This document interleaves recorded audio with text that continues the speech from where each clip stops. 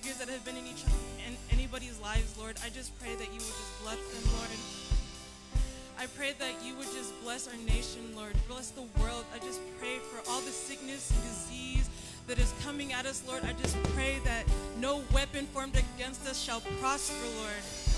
I just pray no weapon formed against us shall prosper, Lord. I just pray that we would stay close to you. I just pray that you would just fill us up with your presence, Lord pray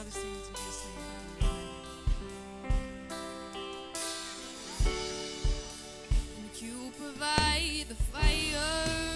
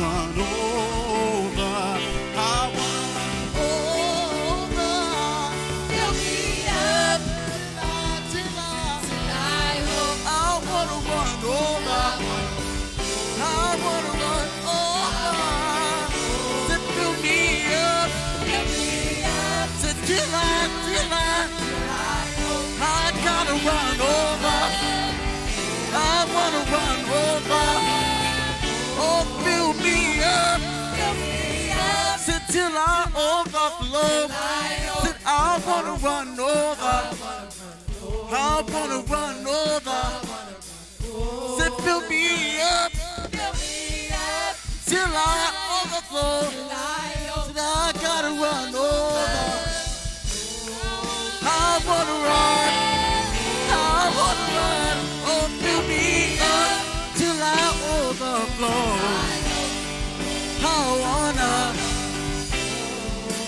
I to run over. Oh, fill my cup, Lord God. Do mighty works in me, God. I wanna run over. I- Oh, say love of God. Overflow.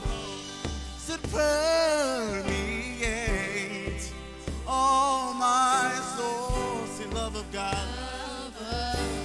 Our cups, Lord God. We're empty vessels without you, God. Oh, we need to move in your spirit and not by our brain. Oh, say love of God. Overflow in us, God. Oh, fill me up, God. Because only you provide the fire, God. Only you provide love, God. Oh,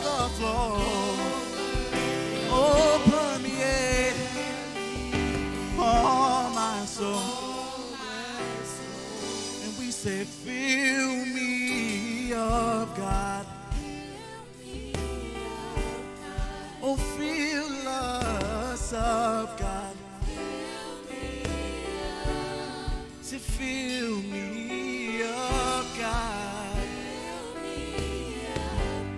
Say, fill me up, God. Cause you provide the fire. Come on, lift your hands today. Come on, come on, come on. Said I'll provide the sacrifice. Oh, oh, you pour out your spirit. Oh, and I will Come on, worship him. Fill me up, God. Me up, God. Oh, fill us up, time. Come on, lift your hands. Lift your hands. Oh, fill me up, God. Oh, fill me up, God. God, we love you so much. Come on, lift your hands. How many of y'all love God today? Come on, come on, come on. I know it's hard. I know it's a rough time. I know it's a rough time. But let me tell you something. Let me tell you who had a, who had a rough time. All of these teenagers. Everybody in here can remember your graduation. You can remember prom. You can remember all these things, right? But all these teenagers here, guess what? They missed all of that. But guess what? Till I overflow. So come on, you can do better than that. If they can get up here and they can push through all the disappointment they have been through, then I know out there you can lift your hands. So one more time, I want you to worship God. Now let's go, go, go. Said fill me up. Till I overflow. Said I gotta run over. I wanna run over. Oh, fill me up. Oh, till I overflow. Said I gotta run over. I gotta run over. Said, fill me up, fill me up. Till I overflow. Said, I gotta run over. I wanna run over. Said, fill me up, God. Till I overflow.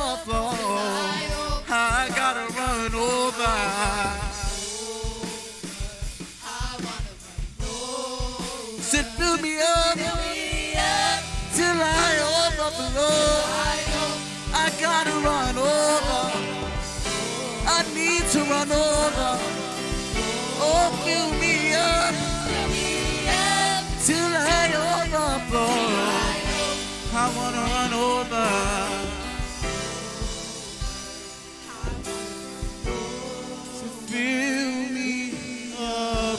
Come on, lift your hands. This is our prayer today. Fill me up, God. Fill me up with what? Kindness. Fill me up with what? Love, not hate. me up, God. Come on, lift your hands. We want God to fill us up. Fill me up. So we're running over, not running on empty. Father, we love you. Father, we love you so much. Come on, lift your hands. We love you so much, God. We thank you that today, Father, we can see, Father, as we look around this room, we know that today, Father, the plan of the devil has not worked because we are not divided. The plan of the enemy has not worked. Come on, I told you a couple weeks ago the devil comes to steal, kill, and destroy. God, Jesus, comes to bring life. And part of him bringing life is bringing togetherness. The world out there can be divided by color, the world out there can be divided by money, but in here, we all, we all are seen by God as the same. Come on, give Jesus a shout today. God sees us all the same. And, and listen, listen, and I get it. I get it. You can look at people's faces and, and people are disturbed. We had a conversation this morning, didn't we? It is tough out there right now. But you got to keep your eye and keep your eye focused on what's real. A kingdom that is divided, it cannot stand. And right now, the enemy would like nothing more than to divide you. Divide you by fear. Older people, oh my gosh, I'm going to get coronas. Younger people, oh, I don't care. Divide you by color, black, brown, white. But in here, this is where it starts. In here is the experiment. Because let me tell you something everybody sees God differently, but God sees us the same. Everybody sees God. Everybody has a different view of God, who God is, what God's going to do, but God sees us the same. So if he sees us the same, then on Sunday morning, it should not be the time when races are divided. On Sunday morning should be the time that somebody can come together and say, What matters is your heart, not your skin color. So look around, just look around, look around today. Look around. This is how church should be. And until the church figures that out, they are going to never figure that out. So come on, give Jesus a hand clap and give God a shout. Come on, come on, come on. Somebody's got to do the right thing. Now, I want all the fathers to lift your hand.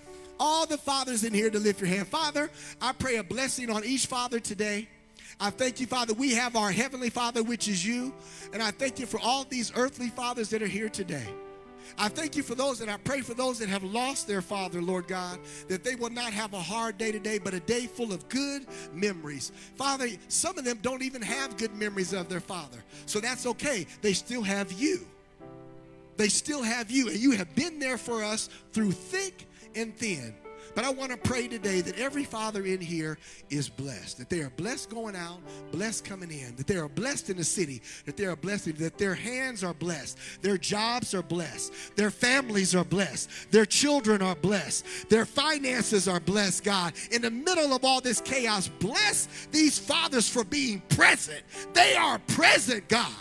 And that is what is so important today. I thank you, God, for your message coming forth today, that it will encourage us and lift us up on this Father's Day. In Jesus' name we pray. Amen. Now, come on, give God a shout. Okay, all right, now. Because of all this nonsense, you got to give somebody an air hug. So just turn around and go like this. Say, Don't touch me. Don't touch me. Brooke, next week, let's have MC Hammer. You can't touch this. We'll, play that. Amen. Come on, how's everybody doing today? Everybody good? Come on, give God a shout. Come on. Come on, wake up, wake up, wake up. Y'all just sleepy. Look, if you sleepy, come to the 1230 service.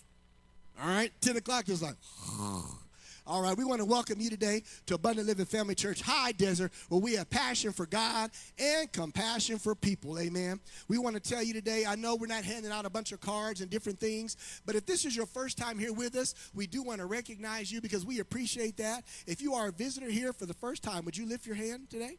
If you said, whoa, whoa. Charlie, I'm going to resist everything in me. this is my friend and his family today, and I'm so thankful that they're here with us today. Anybody else today, brand new? Anybody? Anybody see? See, how you doing? What's up? He's like, what's up? He's all cool with it. Amen. So we love you. We thank God for you coming today. Um, we are a multicultural church. That means that our church looks like heaven. I tell you that every single week. Uh, there should not be a black church, a white church, a Hispanic church unless your whole community is black, white, or Hispanic. If you go to Home Depot and if you go to Stater Brothers and you see all kind of different people, that's exactly who you should see in church. Come on, somebody. And I'm gonna say that it's not popular, but I don't give a crap. How about that? It's important. And so I'm thankful that everybody can come in here on a Sunday morning and we can practice for heaven, Johnny. How about that? We're prac- Come on, look at your name and say, We're practicing. We're practicing for heaven. All right. Well, obviously, it's Father's Day, and we are so thankful for that. So, we have a special Father's Day video for you this morning. No matter how old we are, we always remember what our dads say and do. My dad is more like Jesus than your dad. Nuh-uh. My dad doesn't let anybody eat any food until we pray for it. My dad prays for one minute every day. You know what? Our church has pancakes. This is what my sister and mom use for their blush.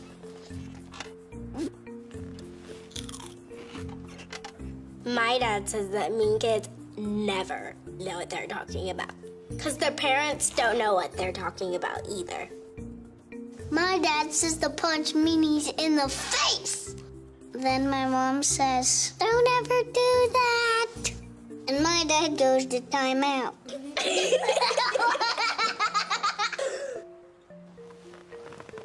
My dad's beard is itchy whenever he kisses me. My dad takes me to church so we could learn to be just like Jesus. My daddy prays for me. Then he makes me stop talking and go to bed. Then I get a flashlight and read my comic book. That's a sin. He's sinning. No, I'm not. Sinner. No, I'm not. R2, R2, R2. R2.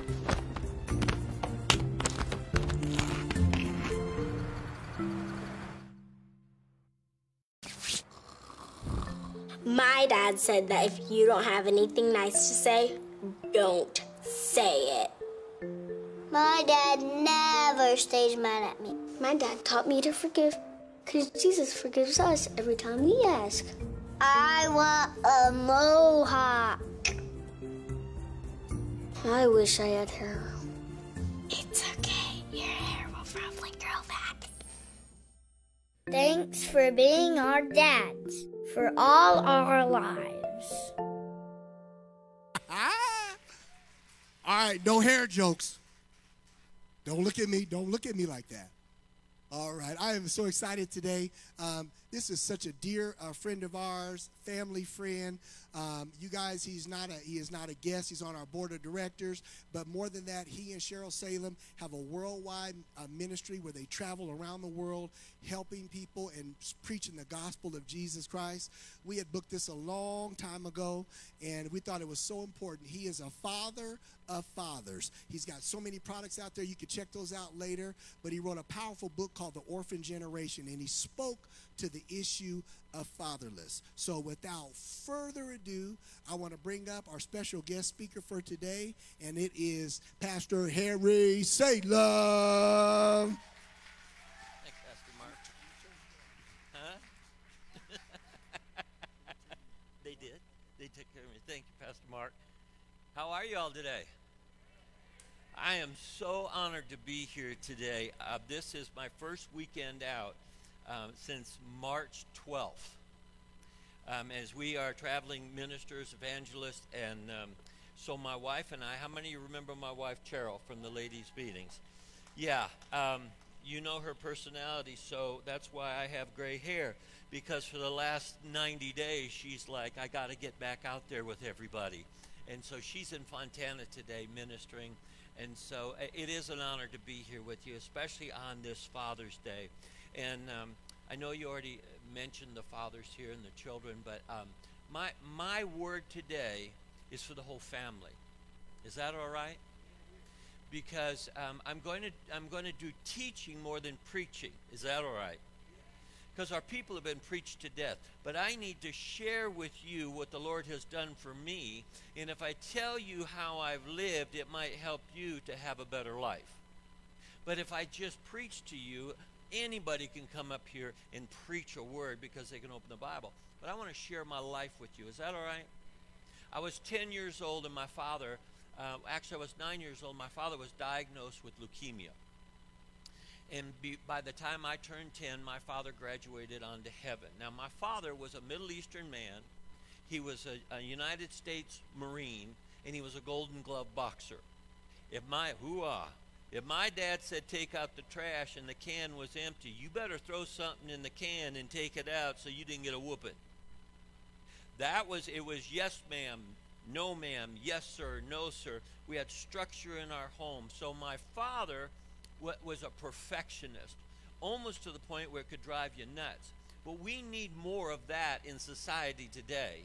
Instead of just accepting, well, the average or the adequate, or I'll do just what I can. No, you do what it takes, is the attitude that we've got to have.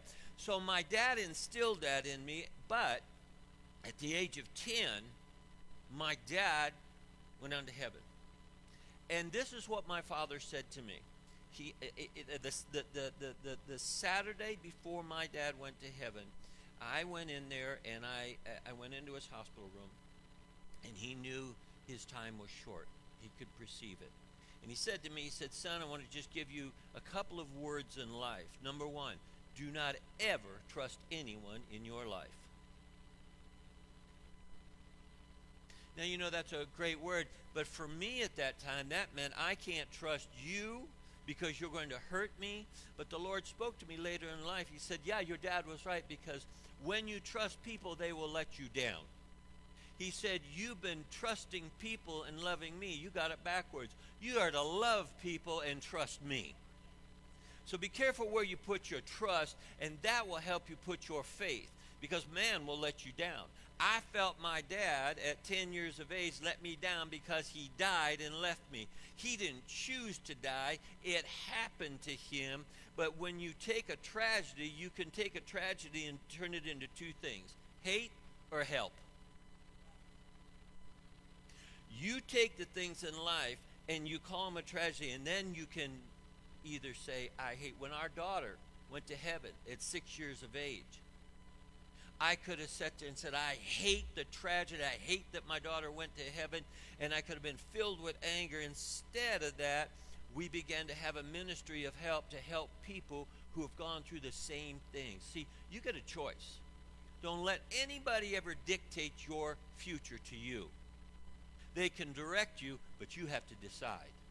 Let me tell you how bad it got for me. And, and, and I wrote this down because while I was sitting there, I want you to grab one thing right now. And if you have a pen and paper, I'm going to give you some, some notes because this this will help you throughout the week and throughout the month. But I want you to write this down because I think this will mark you in your mind. This is what the Lord gave me for you. Old ways don't open up new doors. You want me to say it again? Old ways don't open up new doors. Which means if you think you can still do the old thing and you're going to have new things come before you and fulfill those things, you're not going to be able because you're doing it the old way. The Bible says this one thing I do, I forget the former things. You know, have anybody seen that movie, um, Men in Black? Do, do you understand when I tell people you can be born again and the Lord Jesus Christ can take your former life, your sins, and forgive them, cast them into the sea of forgetfulness, people look at me and go, ain't no way he can forget what I did. Do you know in the Men in Black, we can accept the fact that a guy will take a pen and flash their light, and everything that they had before them will be forgotten.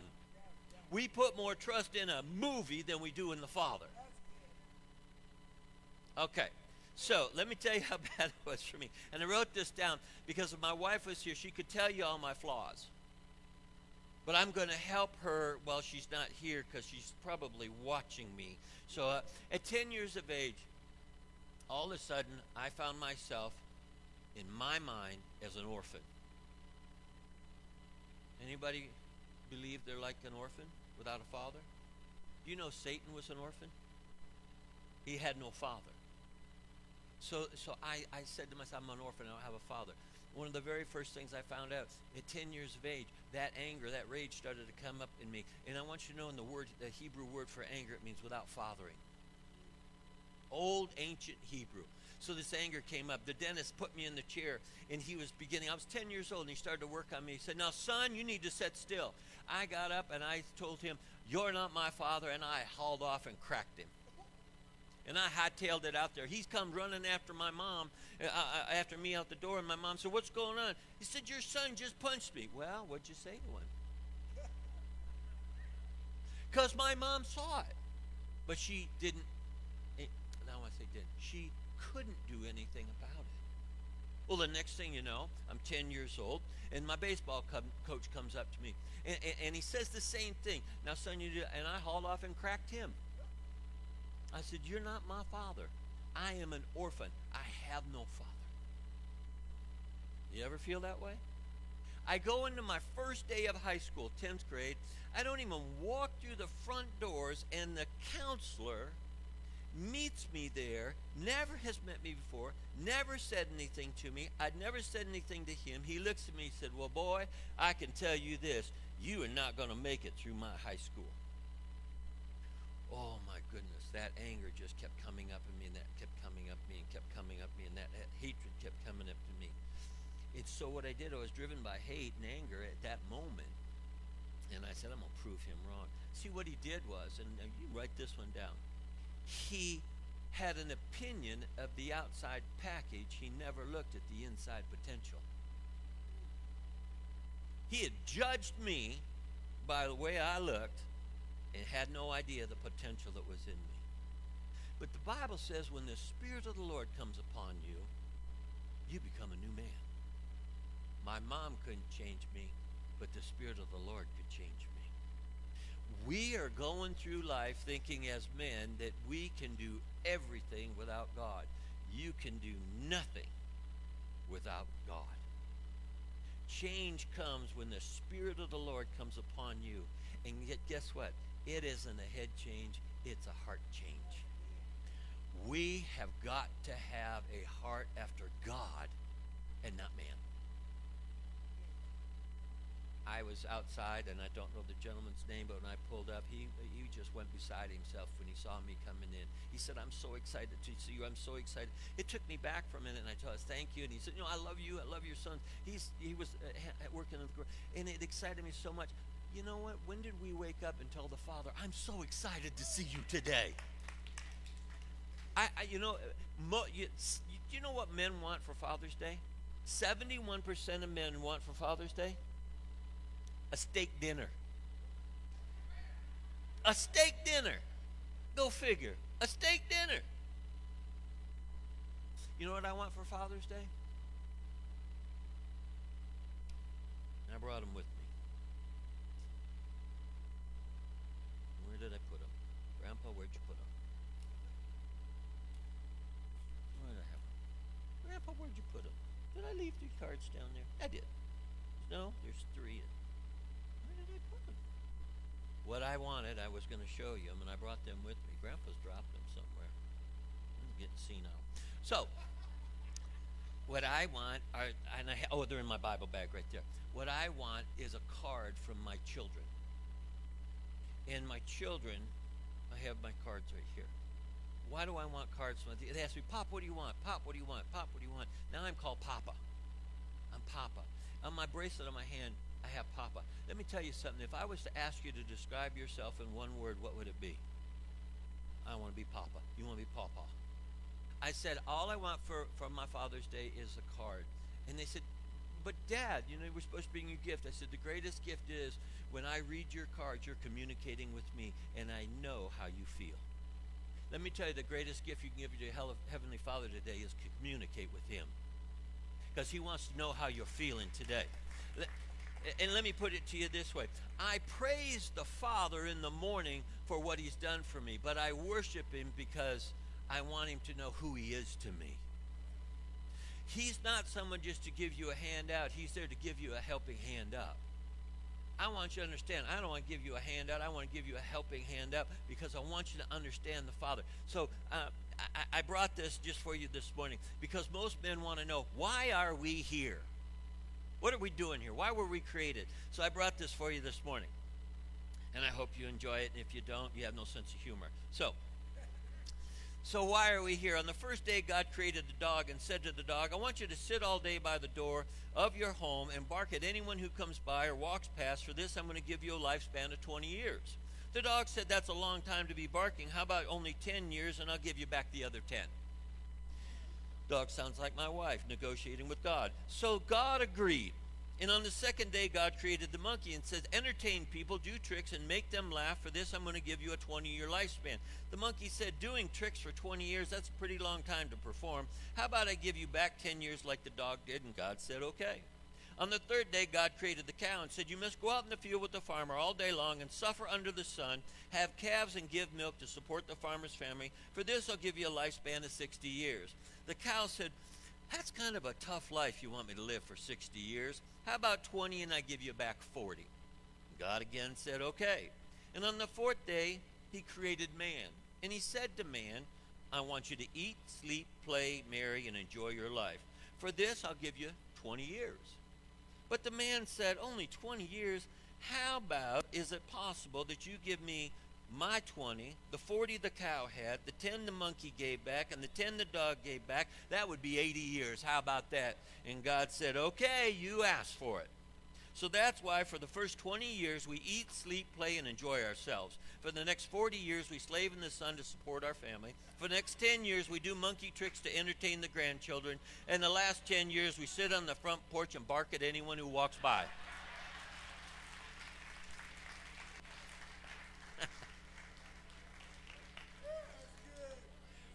I'm entertaining my grandbabies now. And I'm almost to the point where I'm barking at everybody who comes by.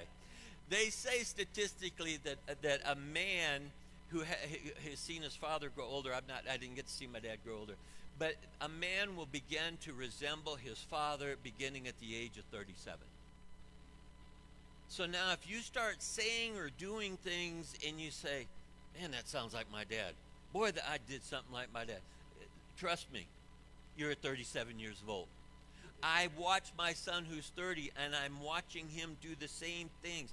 My little grandson, we were watching the movie the other day, and I don't know if any of you do this, but you have that kind of shaky leg. You know, my wife hates it in bed. She goes, Stop shaking your leg. I don't even know I'm doing it. Well, we were watching the movie the other day. My grandson sitting in my lap, and all of a sudden his little foot's just going like that. His, my my daughter in law, she looked at me and said, Papa, see, I told you he's just like you. You can't help yourself, it's in you. But you cannot pick who your parents are. You cannot determine how you got here, but let me tell you, you have a choice on how you leave here. It's not as important on how you get somewhere, it's as more important how you leave that place. You go in and you apply for a job and you put on your fanciest clothes and your hair's all combed and, and you look good and you're articulate and, and you get the job. And then the next thing you sit there and, and, and you work for five or six years and all of a sudden you don't like the way the company's going or anything else and you storm off and you write an angry letter and you're and you, you talk bad about every let me tell you what they're going to remember. How you left not how you came. I remember how my dad left. It was cancer I had a great man one day talk to me because when my daughter left this earth, cancer had riddled her little body. She went from a 37 pound little blonde haired, blue eyed little girl to 97 pounds because of all the cancer treatment that was in her. The last vision I had of her was that.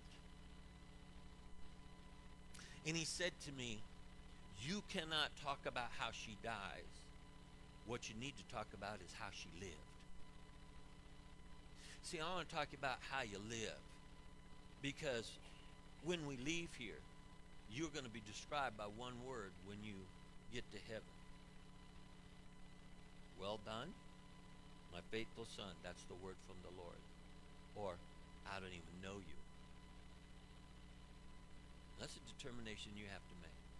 See, on my tombstone, there's going to be a day I was born, there's going to be a day I die, but in between, there's going to be a one inch dash mark engraved in my headstone forever. Do you know what that one inch determines? Your entire life can come down to one inch because that's how you lived your life. When my children stand over my grave, should the Lord tarry, all I want them to say is, Papa. I don't want to talk about the houses, the cars, the boats, the success, the fame, because when I get to meet my father, he's going to describe me as one thing, my son. One word will describe your life. So, if you have pen and paper, and give you a few things, if I can, I get my notes here. So, I did write a book called um, uh, Rise of an Orphan Generation, and I want you to know something. I am not an orphan. I am not an orphan. I found my father. And my father says he'll never leave me nor forsake me. That I can trust him all the days of my life. That I am created in his image. See, you cannot let someone else tell you what they think of you because how you look. Because my father says when you look in the mirror, it's a mirror reflection of that I created you in my image, my likeness, my greatness, my ability. When I began to get that, I didn't see a kid who had hatred in him. I saw a son who had a father who always told me I could. And let me show you the way because I've given you a roadmap and it's written in 700,000 words. It's called the Word of God. So anybody want this, Pastor? It's the Rise of an Orphan Generation. If someone could just hand it out, if you want it, come and grab it. I wrote another book. It's called For Men Only, and I'm going to give it to a woman because women are so curious. They're going to want to know why is that just for men. So if a lady would like that, can I give that away to somebody there? And then we're living in a situation that fear has gripped us. I'm going to be wise, but I'm not going to be afraid. I'm going to be wise, but I'm not going to be afraid. So we wrote this. It's a 40-day journal on overcoming fear. If you're walking in fear right now, this is a journal that every morning you get up and you begin to pray it. And Mark, I don't mean to ask the pastor to do that, but if you'd like to be blessed with that. Okay. Okay. Are, are getting anything so far? Okay, don't be quiet on me.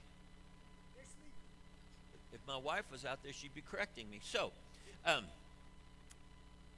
I want you to understand um, my definition of a father.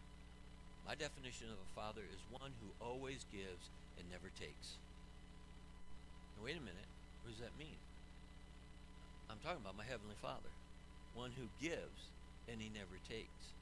You think uh, somebody said to me, well, you know, the Satan won and he took your daughter's life. He doesn't have the authority to take my daughter's life.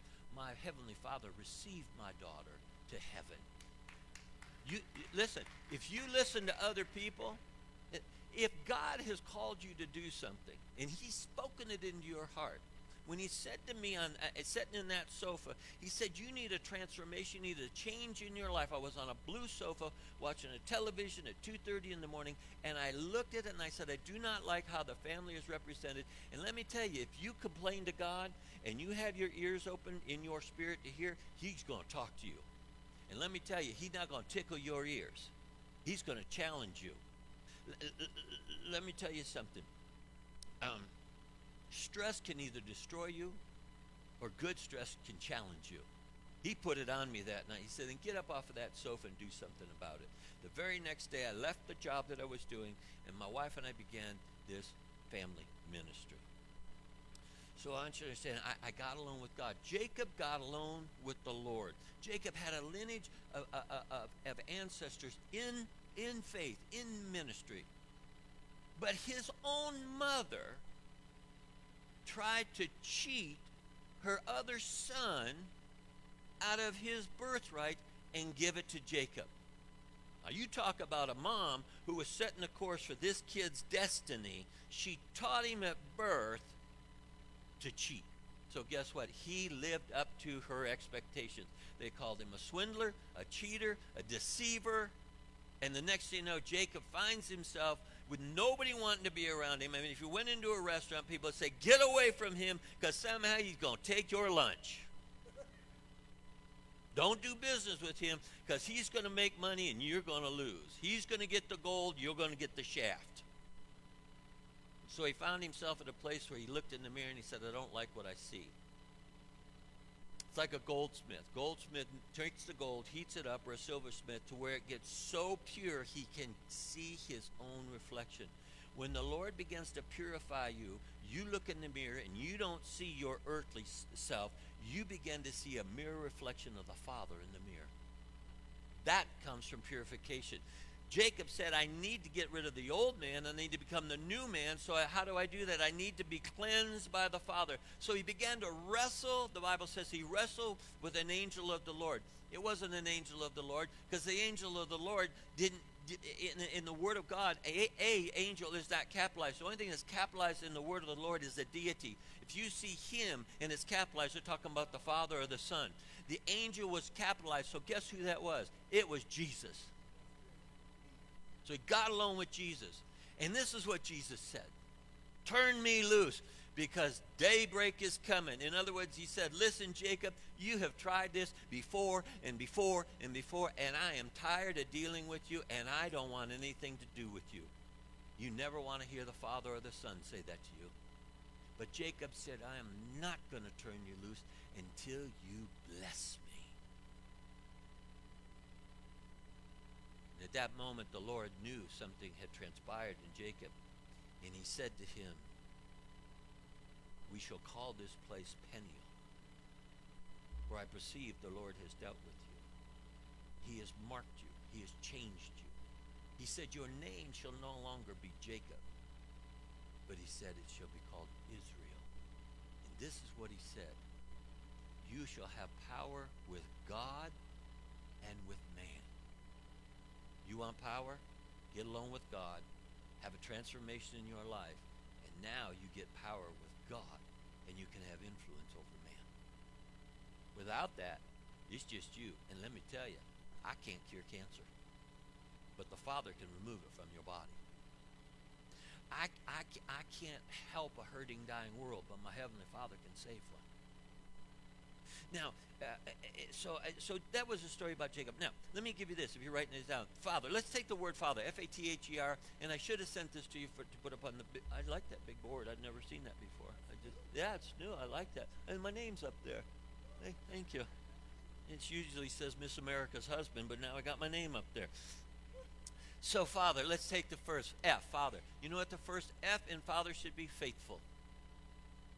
The word in 2 Kings 6, 16 and 17 says, so he can open his eyes to God's provision.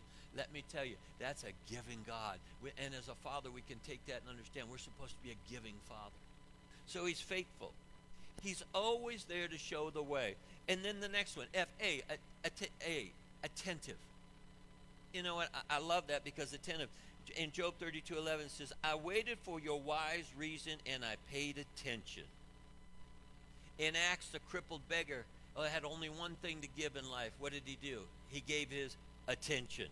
And at that very moment, he began to get healed.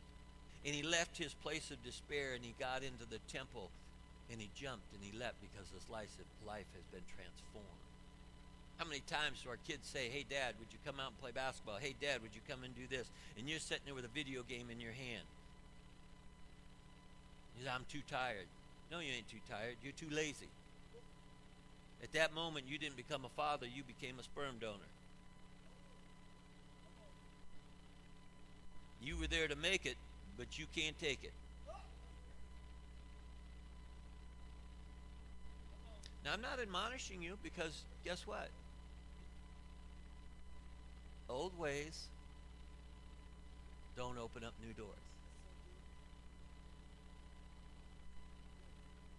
So attentive. Pay attention. And let me tell you something. Be careful who you pay attention to. The Bible says that you to get wise counsel. Don't be listening to some jarhead. Because most people don't want to let you change for the good. They want to keep you in the bad. Because they don't want to take the effort to become a new person when you have given your effort to become a new man. I, integrity and intimacy. Integrity. You to show yourself approved. There's one book has been written in Christendom about integrity. How I had it and how I lost it. Shame on us. Integrity is gained through a lifetime, but it can be lost in one instant. Intimacy. If you're if you want to know what the Father is saying to you, guess what he says? If you want to know my secrets, you need to what when someone tells you a secret? Listen and how close do you have to be?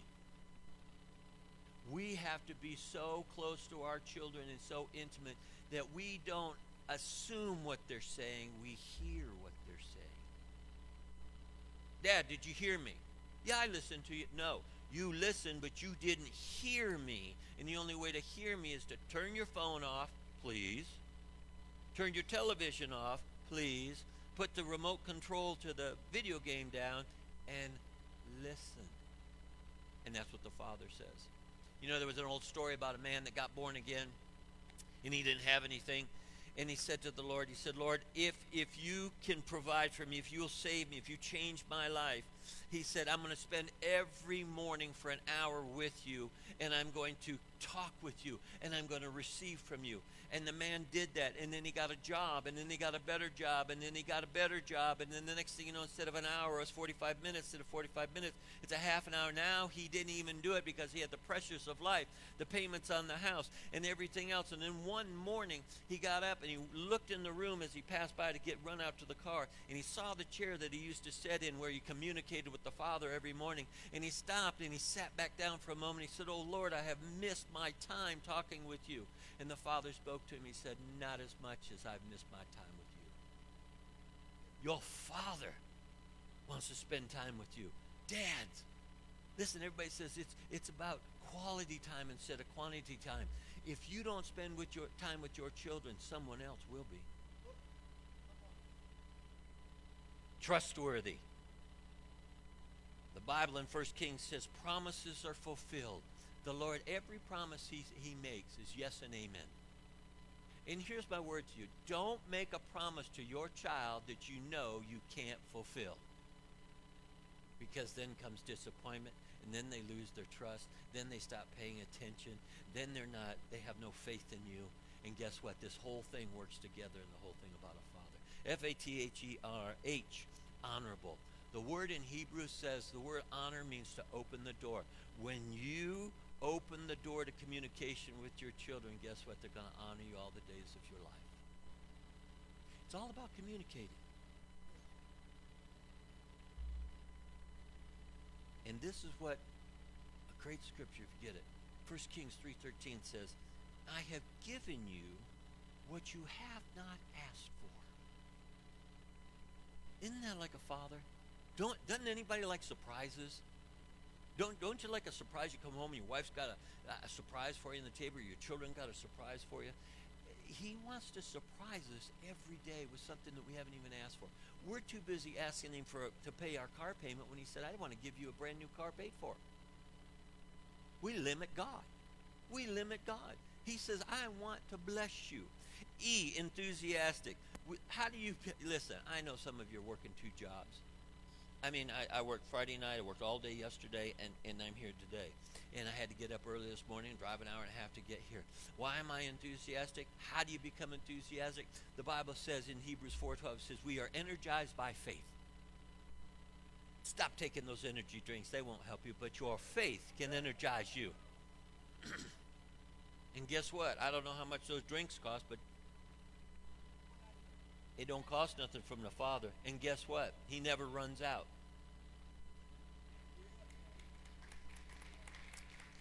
Your future grows with the amount of faith you apply. Last one is righteousness. Blessed is the man who lives not in the counsel of the ungodly, but walks in the teachings of God. And a righteous man walks in his integrity, and guess what your reward is? He is blessed and envied and are his children. I want to give you a statistic. In the last one, and we'll talk about that later, but F A T H E R S, you got to be saved. You got to be saved. I'm driving here. I turn on my radio. I'm listening to a preacher on the radio, and I don't mean to be critical, but when anybody says you don't mean to be critical, really you are being critical. So I don't know how to say it any other way. But he gave an altar call, and if you didn't know as a preacher that it was an altar call, it had passed you right on by. The Bible says you must be born again to enter into the kingdom of heaven. You need to ask the Father to forgive you of your sins. He takes out that little pen light and he flashes it, and everything you did before is gone, and everything you do now is new. Remember what I said to you in the very beginning old ways don't open up new doors.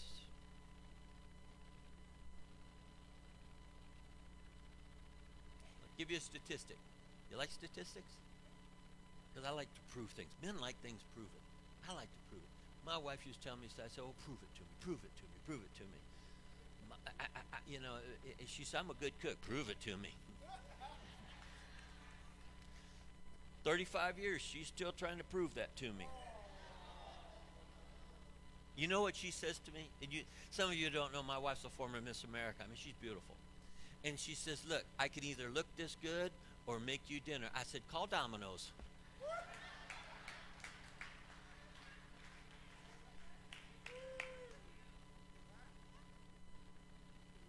Anybody can make a pizza, but to look like that. So, if a child gets born again first in the family, there's a 3.9% chance that the rest of the family will get born again. If the mama gets born again first, there's a 17% chance that the rest of the family is going to get born again. But if the father gets born again, there's a 93% chance that the rest of the family gets born again. Guess where household salvation starts? With Papa. You and, and I know some of you sitting there. My dad was a rat. I mean, he was just horrible. He was a turd. He left me, and I mean, I mean, I know y'all are thinking that because some of you are. But let me tell you, he did one thing right. He gave you life. He put you on this earth. And it wasn't at his choice, it was at the choice of your heavenly Father who said, I'm going to use him to be the vessel to bring you forth, and what you do after that is up to you and me, not him.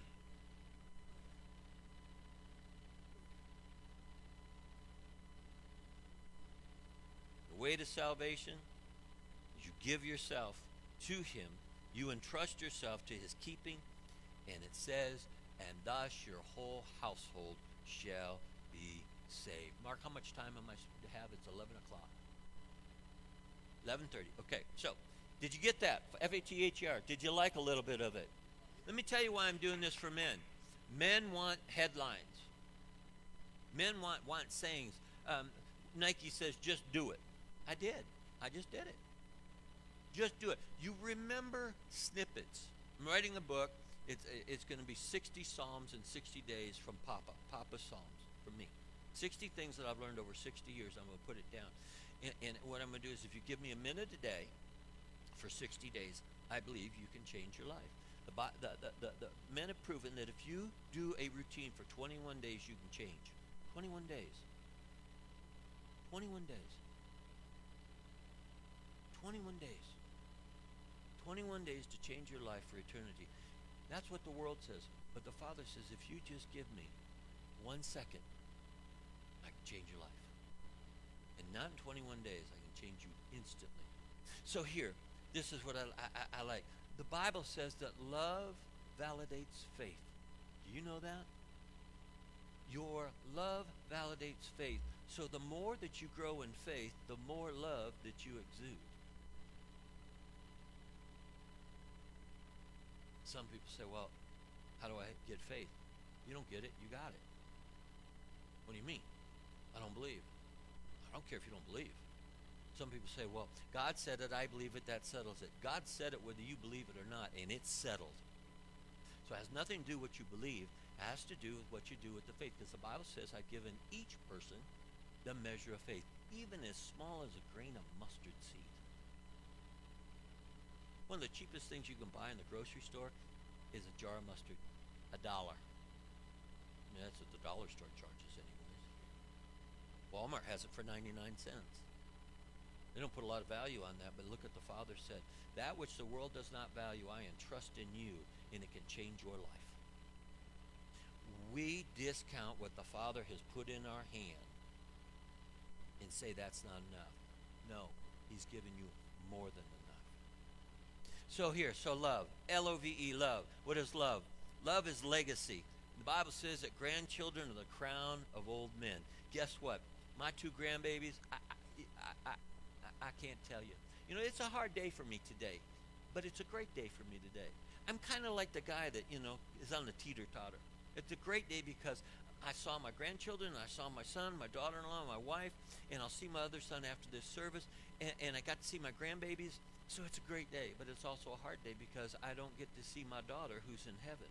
But it doesn't mean I can't talk with her. See, the only, I'm going to say that for later. Love, legacy. So God says to me, after 17 years, you never held a little little girl in your arms after your daughter went to heaven. He's a loving, restoring God, and He never forgets. It might take time. The Bible says, though it tarry, wait. The word "wait" in the Hebrew means to twist, to turn, to to dance, to intertwine. What does that mean? You don't just wait there for your miracle with that look on your face and being angry with the Lord. He says, You need to dance before me because the joy of the Lord is your strength. My wife can't make me happy, but the joy of the Lord can change my life. She wasn't put on this earth to make me happy. She was put on this earth to be my helpmate because I need help. Hope you're watching, honey. L O, opportunity. You're only going to get one chance in this life. Don't miss an opportunity to influence. You only get one opportunity. Well, I'll catch that the next time around. You know, I, I, I came up here a few years ago, and, and, and on my way home, um, they had the road blocked off, and somebody was running across the street to get a, a hamburger, and he got hit by a car. Well, you know, I'll do it tomorrow. He didn't have tomorrow. I was driving home a Friday night, and on my way down the Interstate 10, I had traveled and I was got off of my exit. Well, right behind me, I had no idea what was coming, and I'm sure these people didn't. But they went down three more miles, and next thing you know, their car overturned, and three people or two people were killed. Four people were taken. They had no. Your opportunity is now. Now. Now. Don't put off today the things that can make a difference for tomorrow. Everything I have in, in my life today is directly tied to what I did yesterday. How many of you woke up yesterday and said, Lord, I want to thank you for breath in my body, food in my stomach, house over my head? What if you woke up today and all you had was what you gave him thanks for today? Where would you be right now? The virtue. It's a race, the Bible says, looking for one virtuous person. Do you know, he said, if I can find one virtuous person in Jerusalem, I'll change their outcome. One, you know why virtue is so hard? Because it's so hard. It, we're in, inundated with things that ta- take us away. We're inundated with things every day that want to keep you unrighteous. Inundated. Is it your fault? No. It's only your fault if you succumb to it. We, we blame the devil for everything. No, sometimes you're just stupid.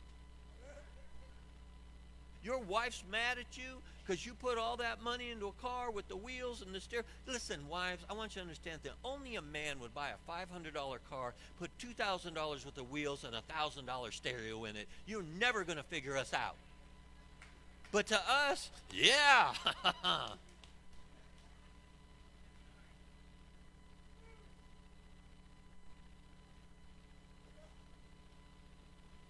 E eternity. What do you get to take with you to eternity? You get to you get to take something to eternity. You don't get to take your body because we become a spirit. You don't get to take your house, your car. You don't you, you don't you, you what do you take to eternity? The only thing you get to take to eternity is what you leave behind. That's your legacy. Everybody today is talking about their legacy. Legacy isn't given, legacy is lived. What you get to take to eternity is how you lived your life. Listen, our daughter went home at six years of age, And someone came up, to me. you know, the Bible says that with long life they shall satisfy the Father. So I guess that they didn't have long life, should not satisfy the Father. You know, eh, I'm Middle Eastern. I take you out. I'll take you down. Don't talk about my daughter that way. But it made me question, well, Lord, did she fulfill her life? She's six years old. Went to my pastor. That's why it's important to be in church and having a godly man lead you. So I went to my pastor. And he's younger than I was. But I said, da da da da, and he said, this is what the Lord has for you. It's not how long you're on this earth, but it's what you do in the amount of time that God gives you. If you have breath in your body today, God can use you. And I want you to understand something about eternity. The other day, and I'll you a few more things. Getting anything yet? You okay? I'm gonna wake you up. Might have to make you run around this building.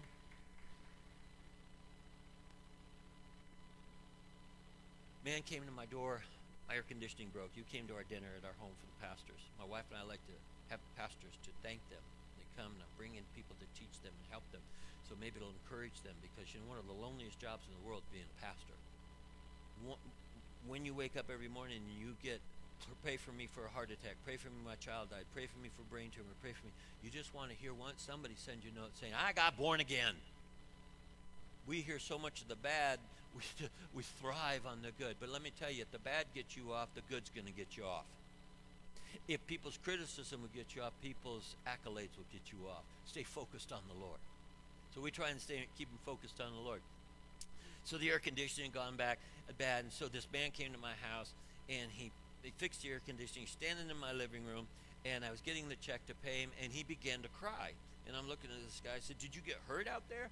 Make a long story short, he said, "No, my my daughter got to go to the university where the dormitory was named after your daughter, and she stayed in your daughter's dormitory. And for four years, her life was transformed." He said, and that's where she met her husband. And he said she wanted to stay in your daughter's dorm because she knew her legacy and her history. He said, You changed my daughter's life. I said, I didn't change anything, but my daughter's legacy is still changing people's lives. Because what you take to heaven is what you leave behind that will impact another generation.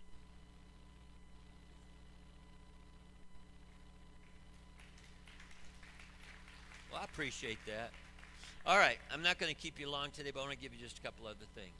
Um, of course, you know, fathers, we have to figure it out. uh, how many? How many of y'all have children? Raise your hands. Okay. How many dads taught their kids how to uh, play ball, basketball, baseball, football, anything like that? Well, I, I was a good athlete. I wasn't great, but I was good enough that I had potential for college. But that's not God's plan for me. And so I thought, if I'm good, then my sons are going to be great. Right? I mean, that way we all think. We all want our children, when they're born, they, we look at them and go, man, they look, look just like me. They're bald headed. I mean, eh, and let me tell you, I'm thankful they don't look like me. I'm so thankful they look like their mom, Miss America. I mean, they are gorgeous boys. But I said, I'm going to make sure that they're athletes. So I, I, we all did this. We buy a baseball glove. We buy a basketball. We buy a football, right? And so I bought all those things. And so I, I, I my one son, and, and my wife was worse than me. My one son got out there in, in, in baseball, and uh, they were supposed to run from one sideline to the other. And my kid is like seven days behind everybody else. I mean, he just like, and I'm looking at him, and I looked at my wife, and I go, "That's coming from you. That has, that's your gene pool, and it's shallow. It is not my gene pool." And so she, the, I mean, she won Miss America. There's only been like 80 of them in the world. She didn't go to Miss America to make friends. Miss Congeniality was out the window. She went. Her motto was "Kill them all, take the prize." I mean, this woman is. So she starts screaming, "Gotta move on! Pick up your feet!" My wife can't run across the room. She has no athletic ability at all. I, I, I, you know, I mean, I mean, we're so different. She said to me, she said, I just pray, because she's a singer, I pray my son has perfect pitch. I said, honey, I just hope he hits the ball. I don't care if he pitches or not. And, and, and so we're different. And she's screaming, and finally the coach came over and said, ma'am, we're to, here to encourage the children. We're, we're not here to beat them down. So they made her go out to center field and stand. So afterwards, I mean, I'm just fit to be tied, and I'm blaming my wife and my son. I said, "You you couldn't run, you couldn't catch the ball, you couldn't hit the ball. What's the matter with you? You have Pop's genes." He said, "Well, Dad, you never taught me." We talk about communicating. So I learned from my older son that I was not going to make that mistake with my next son. So he was two, and I bought him a baseball glove. And instead of buying a soft baseball, I bought a baseball. Yeah, and he will tell this in men's meetings because he preaches now too. Make, you want to make sure the sins of the father will be brought forward. And so I said to him, "Now put your glove right here, and I'm going to throw the ball, and you catch it." Guess what happened? Y'all are laughing. He's he's he couldn't see the ball coming, so he moves his glove, it hits him right in the mouth, and he's got a fat lip. Papa hit me! Papa hit me! Papa hit me! My wife said, What in the world were you thinking? Well, I wasn't thinking he'd move his glove. Because if you move your glove, you're going to get hit in the mouth. Why didn't I say, put your glove over here and I'll hit it? That's the way we are in life. We make mistakes.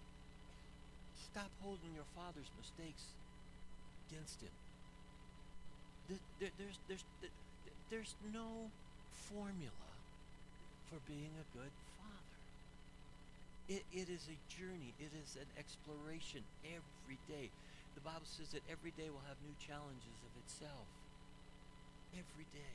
I, I want you to understand, my oldest son, you've seen him, both my boys, they're six foot plus, 220 pounds. They, they do, they, they weight lift, they, they bodybuild, they train. They are big guys. I don't, I don't want to run into them in the middle of the night because they'll break something in Papa's body. I mean, I went and played basketball with my son one day, and, and he hit me, and I came home. I'm standing in the shower. I can't breathe. And Cheryl said, Are you all right? My son's coming around. I said, Don't tell him. He said, Dad, you're all right? Yeah, fine, fine, fine, fine. He turned around. I collapsed in the shower. I mean, you don't want to show your weaknesses to your kid, but let me tell you, these boys are big boys. They're strong boys. They could have played, well, Roman played football, basketball, baseball. Harry could have played football. But one day he came to his mom and he said, Mama, I, I want to sing the national anthem at the basketball game. My response was, You're built like a linebacker and you don't even know the national anthem. You don't even know the words. What's the matter with you? You're five years old. I want to be a linebacker. He wants to sing. Next thing you know, mom said, Well, I'll teach you the words. Next thing you know, if you've ever heard my son sing, our son sing, he has this big baritone voice. He's had it since he was five years old. And it's, at five years old, he sang the national anthem in a nationally televised basketball game, and the announcer said, "We can't. We, we need to take a pause because if this is the future of our country, we're in good shape. He had this gift. What did I do? I looked at the outside package and not at the inside potential. Now, my wife began to train him because she's trained professionally. So I said, okay, I don't know anything about music. I, I, you know, I sit at the piano. And I say, give me a K. Ka, ka, ka, ka. I have no understanding of, of music. So she puts him in this uh, talent show. And they're kids from his little age of five to 18, 19 year old girls that are going to be in pageants. So he just comes out in his little suit and he just belts out this song. And, it, and we're just like, the crowd is going wild. And it, so they're ready to give out the first, second, and third place awards. They gave the first place to some girl who acts, absolutely had no talent whatsoever. They gave the second one to another person that absolutely had no stage presence whatsoever. And then my kid pulls in third. And I'm like, around He's on the podium. My wife was not pleased. And then a woman, now my daughter was alive at that time, so I had the three children. After that, a woman had come up to my wife. Now, my wife, you need to understand, if she didn't go to Miss America, she was going to Juilliard. That's her background. So this woman came up and said, Hi, I'm so and so, and I know that this is your son. And she said, You know, if you let a professional like me train him, he wouldn't have done so bad. If my wife's head could have spun around, it would have spun around. she looked at this woman. And I said, wait a minute. I said, children, come on. This is not going to be pretty. And Gabrielle starts to turn back, and I said, don't, don't, don't look back. Don't look back. and all I could hear, why am I saying that to you? Because we have some single moms that have to be fathers too. My mom had to be a father. The scripture says he will be a father to the fatherless and a husband to the widows and the orphans. My heavenly father gave us everything we needed right here in this book, and he gives it to us so that it will help us make the journey of life and fatherhood better. Now, I'm going to close with two things, and, and I hope you really like these, but um, I want to give you this one. At one year of age, dad is the whole world. Amen? I mean, I saw your grandbaby looking right up at you, Papa, and I was like, ah, right? We're the whole world. At five, Dad knows everything. I mean, we do. It's broke. Dad can fix it. My granddaughter, wife, Papa can fix it. Papa can fix it. Mama says Papa can fix it. She comes in and, you know, I'm trying to fix it, right? I'm thankful for a glue gun and super glue. I mean, Papa can fix anything. At 10, Dad's really cool. That's my dad. That's my dad. Look at my dad. You want to dress like him. You want to look like him. You want to act like him. You want to talk like him. At 15, that ain't cool. He definitely not cool. And look at the clothes that dad's wearing. And Lord, help him with that hairline. I mean, come on. At 20, dad doesn't know anything. Y'all, are, you know what I'm talking about, right? Dad, he just don't know anything. At 25, what in the world is dad thinking? I mean, when we get to a certain age, they give us a license to drive a 40 foot motorhome when our eyesight's gone bad, our hearing's gone bad, and our reactions are, are, not there. That is the stupidest thing that they could ever do is give an old man a license to a 40 foot RV. And your kids are going to go, What are you thinking, Dad?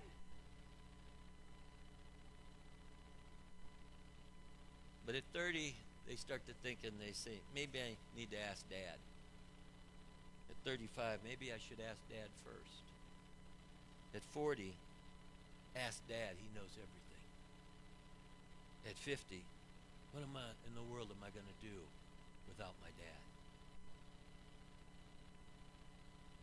That's the succession of life.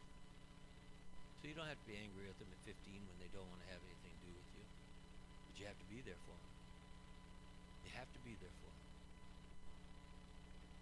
A story about an Olympic runner. And he was a little baby, just about like his age right there. And the kid could run like the wind. By the time he was three, he was just tearing it up. So dad began to buy him tennis shoes, began to buy him shorts, and began to see that he could excel in track. And as he got older, he was winning ribbons. And then by the time he got in grammar school and then in high school, he was winning trophies. And then by the time he was in high school, he was winning awards and getting scholarships. And the Olympics were coming up. And the next thing you know, the kid, they came to him and said, We believe that you have an opportunity to make the Olympics. Long story short, he made the Olympics. They're now, this was pre 11, 9 11. They were at the Olympics, and the dad's in the stand, and the kid's on the blocks, and he's getting ready to run the race. And he takes off like a shot and as they're coming around the last lap and they're coming around, he's leading the pack, but something happened and the boy behind him caught the back of his shoe and he went down. The boy behind him went down. The boy behind him went down. And then all the rest of them that shouldn't have been first, second, or third were now going to be on the podium. And he laid there in a crumpled pile. And he was in tears and he was hurt. And all he had going through his mind was, I failed. I didn't win. Everything that I've worked for is gone. And his dad hopped over the fence. And he picked him up. And began to run the rest of that leg of the race with him in his arms. And he crossed the finish line. And the boy said to Dad, Dad, I'm so sorry that I didn't bring home the gold for you. Everything that you and I have worked for, everything that you did for me, everything that you put in me. And the dad looked at him and said, Son, you didn't win the medal, but you won my heart. He said, Because we started this thing together and we got to finish it together. And that's what your Heavenly Father says to you. He's equipped you, He's given you, He's trained you, and all of a sudden we fall. The Bible says a righteous man can fall seven times and still get back up. And the Father says, I just want you to finish this race with me. And so we need to learn how to pray to our Father. And I'm down to my last 10 minutes. I hope you're riding with me. So the last 10 minutes, I want you to understand something. Most men have never taken their child's hand and prayed with them. Most men don't take their wives' hands and pray. The women do the praying. They do the praying. More women come to church. But we want to be head of our home. So if you don't know how to pray, I'm going to teach you how to pray. Because I want you to understand something. You're not alone if you don't know how to pray. Because the disciples said to him, Father, teach us how to pray. We've walked with you, we've been with you, we've seen what you do, but we have no idea how to pray. We don't know how to communicate. And the Father said, when you pray, in Luke 11, 2, you want to follow it, you can, but if not, write it down. He says, I teach you how to pray. And this is how it goes. Are you ready? Our Father. Not my Father. Not your Father. Our Father. Guess what? The very thing that our Heavenly Father said is, I include everyone. Everyone. Young, old, good, bad. I include everyone. There is no exclusion when it comes to me and my children. Every human that walks the earth, he says, if you just say, Our Father. And then he goes on, he says, Who art in heaven? Heaven is our home. Where you sleep at night is your house, but heaven is your home. And it's in our future. Heaven is a real place. If you have a child or a loved one that's gone before you, heaven becomes so real to you. They've just changed an address, but they haven't ceased to exist. Our Father, who art in heaven, because he has a home for you. Hallowed be thy name. What does that mean? Holy is the name of the Lord. It should not be taken lightly, it should not be taught in vain. Holy is the Lord.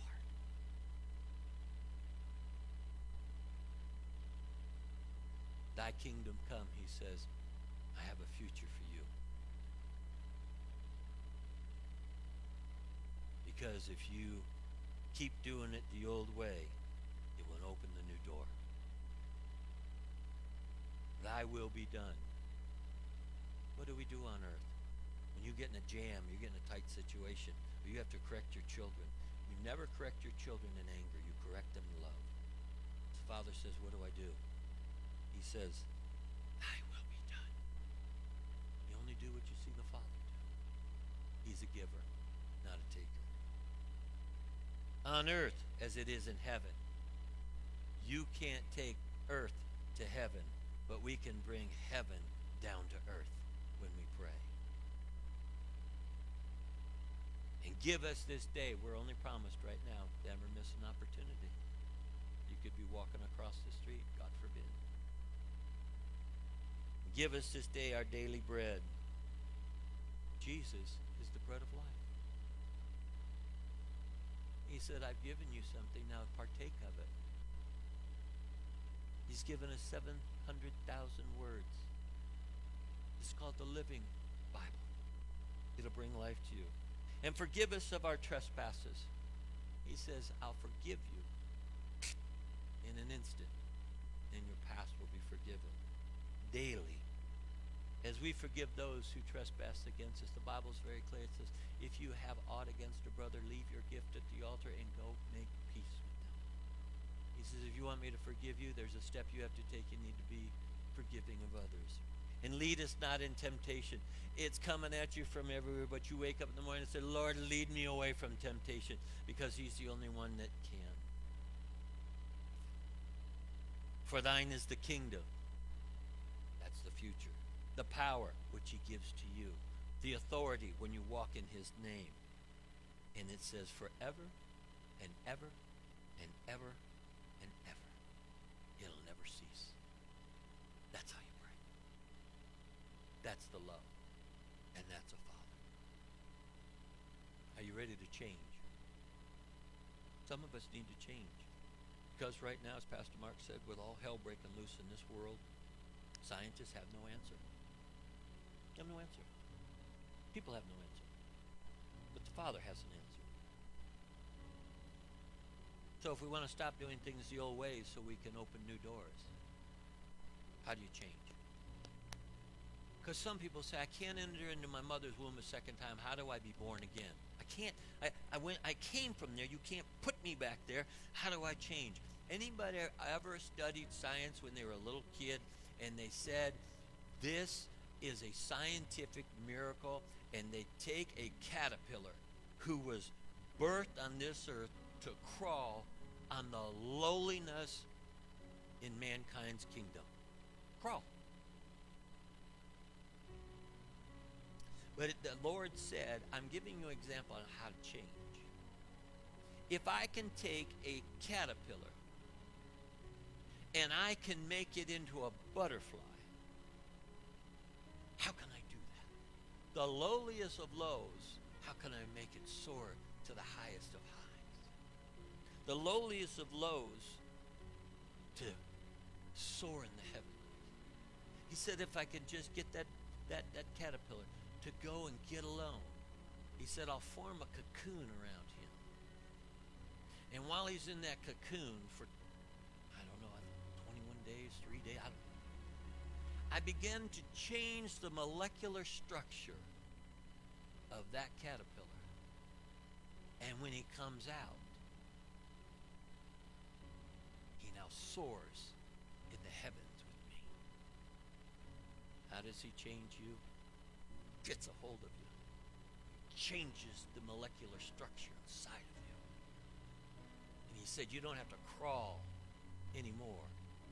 You can and soar with me forever, ever, and ever. Where no one notices a caterpillar, but everyone will see you. Close your eyes for a moment. Because of what we have with this thing, I normally ask people to join hands with somebody or not. That's to your discretion. But I want to pray for you. If you have never, ever had a born again experience, listen, you can have a Bible, you can have a cross around your neck, you can work in the parking lot, you can you, you, you can acknowledge that Jesus Christ was the Son of God, but there's a difference. It's called an intimacy with the Father. It means that you have a born again experience, that your life is transformed, and you have a personal relationship with Him. And if you've never had that personal relationship that I'm talking about, how do you have that personal relationship? You crawl up on His chest and you whisper in His ear, and then He begins to tell you the secrets of your future. And He says, All those things you used to do, I forget and I forgive. And let me lay out before you what I have for you. You no longer have to crawl on the bottom of the earth and settle for the scraps from the table. I can make you soar in the heavenlies and have the first fruits on all the trees. Or maybe you have acknowledged him, but life and times and things have beaten you down. You haven't been a good father. You've been an absentee dad.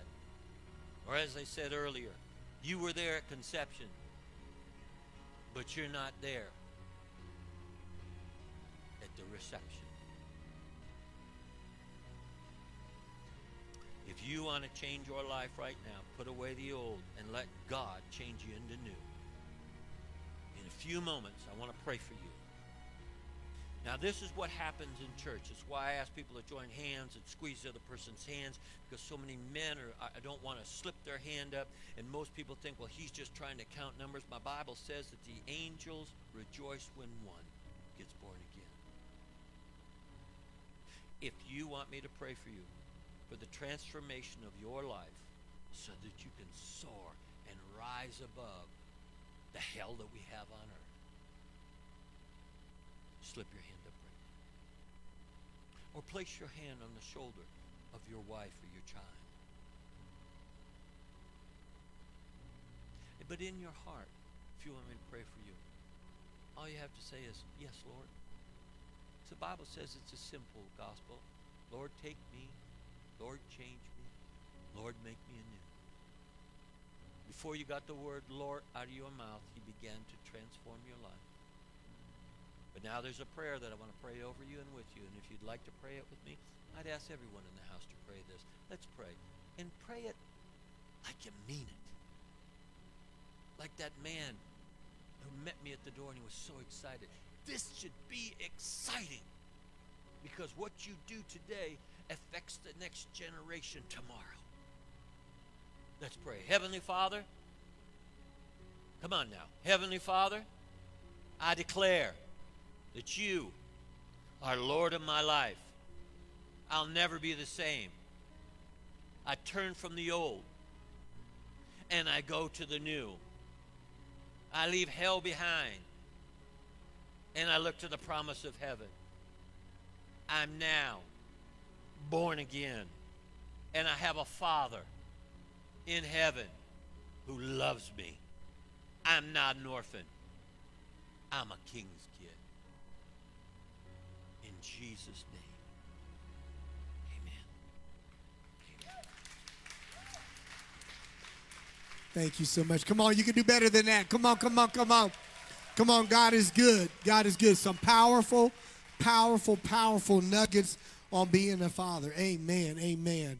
We would normally uh, come and give you some things, but we just are kind of just counting your hand right now. Just know that if you gave your life to the Lord Jesus Christ right now today, that your life will never, ever, ever be the same, and you just switched your destination from hell to heaven because the only way to go to heaven is to come through Jesus Christ. Amen. And, and be forgiven. Come on, give Jesus a big shout, you guys. God is good. Thank you so much, Pastor Harry. Just a powerful word for fathers. How many of you fathers got something out of that today? Amen. And just some powerful, powerful stuff.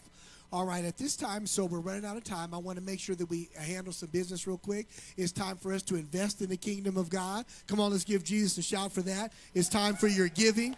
If you are a visitor, we don't ask that you give unless you would like to. But if this is your home church, we would love for you to plant a seed right now as we do many different things in our community and also in our world to take care of people and take care of those that are underserved. Amen. So we want you to get your offering ready, get your giving ready. If you're watching us online, there are four different ways to give.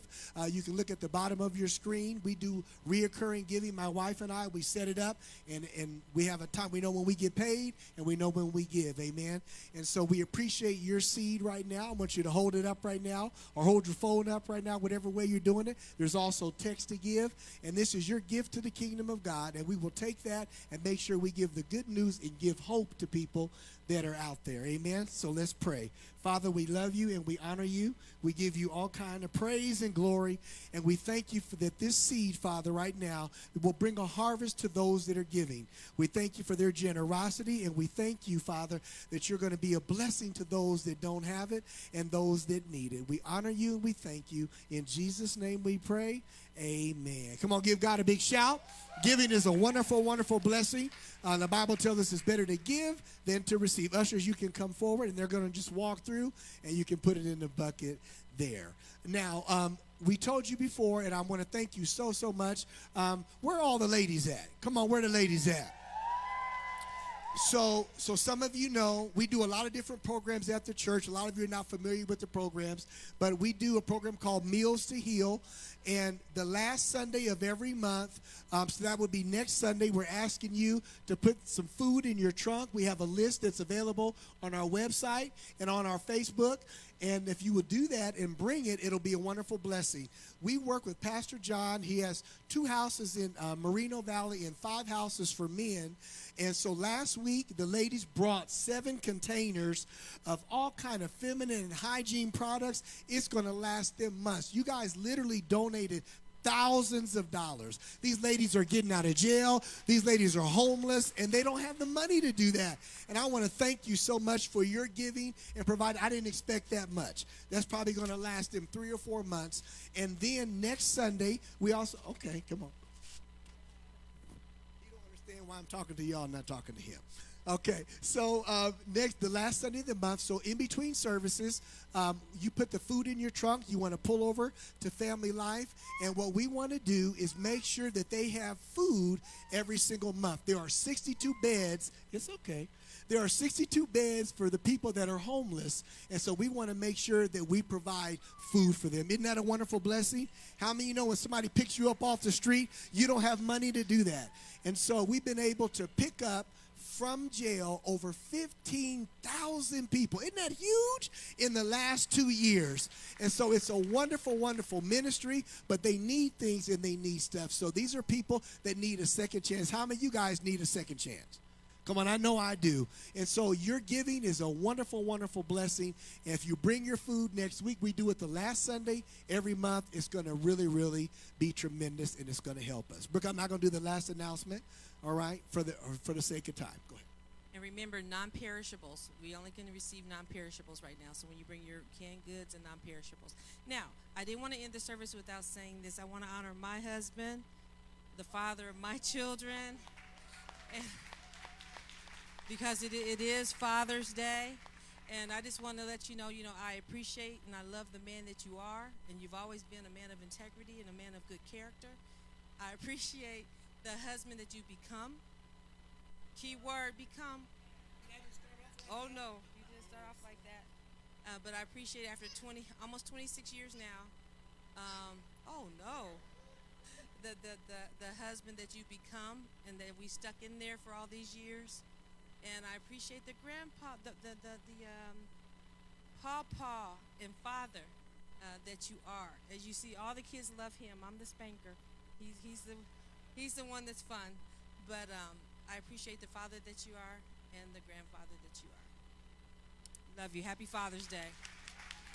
All right. Okay. So we're going to pray over our offering at this time. So um, just raise up your hand. Father, we just thank you, Father, for the opportunity for them to sow seed and for us to sow seed, Father God. We ask you, Lord, to bring back to them a hundredfold return, Father God. I thank you, Lord Jesus, that it will go forth the funds that we collected to minister to those in need, Father God, and to bring life to the high desert, Father. We just give you all the glory and ask you, Lord, to bless those that gave, Father God, that they walk in divine health. Father, I thank you that no weapon formed against them shall prosper in the name of Jesus. And we give you all the glory for that. In Jesus' name, amen. Okay, now, we had an awesome guest speaker, Mr. Harry, our great friend. And we do have a product table back there. I want you to bless Mr. Salem. Go back there and check out his table. He has some awesome resources back there. I didn't get to see everything, but did you did, did you bring Don't Kill Him, Let God Do It? Yes. Okay, that's a good book. And if you're married, that's a good book. Because, see, sometimes I want to kill him. But I said, no, I'm just going to let God handle it, right? No. anyway, but that's an awesome book. So go back there and uh, purchase some things off of uh, Minister Salem's uh, book table. We don't want him to leave with all that stuff he came with. Amen? Amen. All right. Can you all stand? And I'm going to ask you if, if you have, uh, I know we didn't have outlines here, but even if you had an offering envelope, to pick that up and take it with you because we do have to clean and sanitize in between services. So um, I appreciate if you help us out in that way. All right? right. Come on, let's give God another shout. We thank God so much today. So, Father, we thank you so much. We thank you for a safe trip home, Lord God. We thank you for the word that was deposited today in our hearts and in our lives. We ask you to bless every father that is here today, Father, and we thank you that everything that was deposited in their life will bring a harvest. In Jesus' name we pray. Amen. God bless you guys, and we'll see you next week. You